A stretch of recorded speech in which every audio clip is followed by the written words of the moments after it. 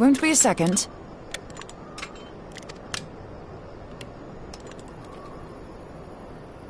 The beast seemed peckish, so I gave it a taste of my axe.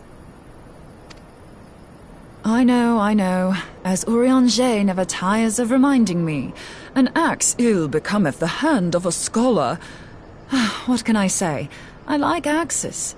To hear my mother tell it, I came into this world holding one. And it's not as if it stopped me picking up a quill, is it?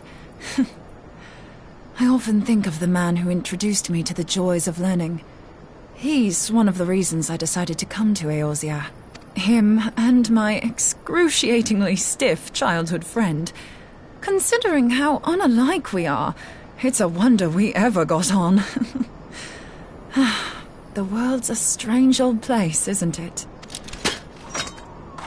Aye, that ought to do it.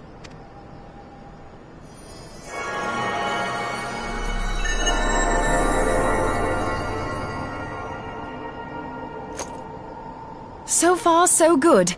At these concentrations, it shouldn't matter too much if something goes awry.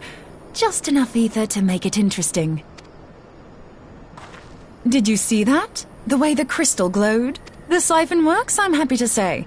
With a few refinements, it should satisfy our appetite for ether, which just leaves the small matter of forging our blade.